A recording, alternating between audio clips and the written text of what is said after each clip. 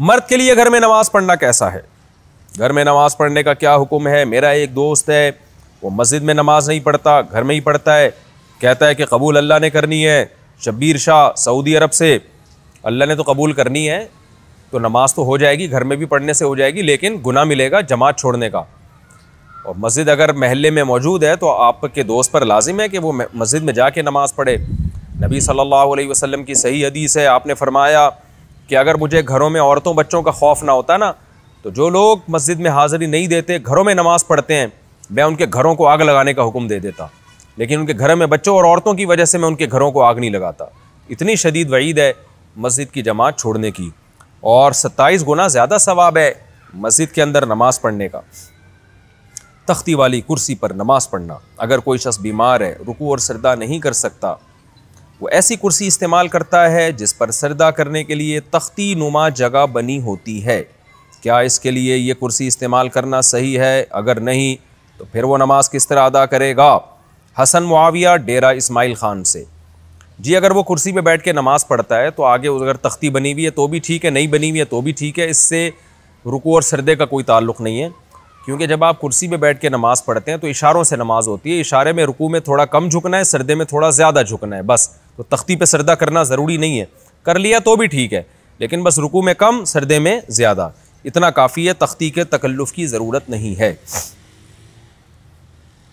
औरत का शौहर के बग़ैर ससुराल में रहना, अगर शौहर काम के लिए घर से दूर हो, बीवी ससुराल में शौहर के बग़ैर रहती हो पर्दे का कोई लिहाज नहीं है।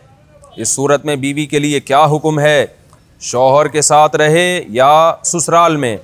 अगर शौहर साथ नहीं रखता, बल्कि अपने घर वालों के साथ रहने पर मजबूर करे तो बीवी क्या करे? तारिक साहब इस्लामाबाद से। देखें, शौहर अगर जॉब के लिए गया है आठ आठ महीने एक एक साल बाद घर आता है। तो असल मसला तो ये है कि जहाँ शौहर रहेगा, बीवी वहीं रहेगी। शौहर को चाहिए, कहीं भी गया है इतने लंबे सफ़र के लिए तो बीवी को साथ लेके जाए। इस पर मैं कई बार दलाइल दे चुका हूँ, कुरान से भी या हदीस से भी। उन दलाइल को मैं रिपीट नहीं करूँगा। इसमें शोहर को भी फ़ायदा है, बीवी का भी फ़ायदा है। गुनाह से दोनों बचेंगे, फितने का अंदेशा कम होगा। इतने इतने अरसे इस दौर में बीवी से दूर रहने में इंसान में ख़तरा होता है कि गुनाह में मुबतला ना हो जाए। और फिर बीवी के साथ एक नौीयत की जुल्म और ज़्यादती भी है कि आप आठ आठ, नौ नौ महीने उसको छोड़ के चले जाते हैं। तो ये एक, यानी उसका, उसकी बेचारी की भी तो जवानी सारी बर्बाद हो जाती है, पूरी शोहर के बगैर जवानी गुजरती है। तो इसलिए असल हुक्म तो यही है, शोहर जहाँ रहेगा, बीवी उसके साथ रहेगी। लेकिन बाज़ गरीब लोग होते हैं, उनके पास वसाइल नहीं होते हैं, सऊदी अरब में मजदूरी की जॉब कर रहा है, वो बीवी को साथ रख नहीं सकता। अगर रखेगा तो खर्चे इतने बढ़ जाएँगे कि वो कमाएगा क्या फिर? बाज़ लोग मजबूर होते हैं, दुबई में रह रहे हैं, कह रहे हैं, फ्लैटों का किराया इतना है, बीवी को यहाँ रखा तो भाई हम बचेगा ही कुछ नहीं हमारे लिए। तो ऐसी शदीद मजबूरी में फिर मियाँ बीवी कंप्रोमाइज़ कर सकते हैं, भाई मैं मजबूर हूँ, कमाने के लिए जा रहा हूँ, तुम्हें भी पता है, मैं अगर यहाँ रहूँगा तो तुम्हें ही खाने के लाले पड़ेंगे, तुम ही मुझे तंग करोगी फिर। तो ऐसी सूरत में फिर बीवी ससुराल में रहे या मैके में रहे? तो उसूल तो ये है कि जहाँ शोहर चाहता है वहाँ रहे। उसूली बात तो ये क्योंकि जब रुख्सत होके आ गई है, वो ससुराल की अमानत है ना। हर आदमी चाहता है कि भाई मेरी बीवी मेरे वालदेन के साथ रहे, यही हमारा कल्चर है और शरीयत में इसके नाजायज़ होने की कोई दलील भी नहीं है। और मियाँ बीवी के बहुत से मामला उर्फ़ मुतन करता है। तो हमारे उर्फ़ में यही होता है कि बीवी फिर ससुराल में रहती है रुख्सत होकर आ गई है वो।